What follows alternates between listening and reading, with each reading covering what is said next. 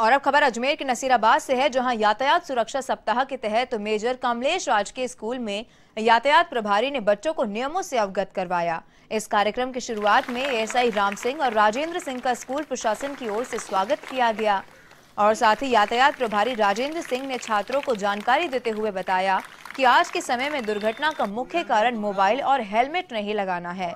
और जिससे दुर्घटनाओं के ग्राफ में तेज़ी आई है वहीं इस अवसर पर बच्चों ने भी पुलिस से बेखौफ होते हुए सवाल जवाब किए। जब रॉन्ग साइड में अपन वाहन चलाएँगे तो जो सामने वाले आ रहे हैं वो कहाँ जाएँगे?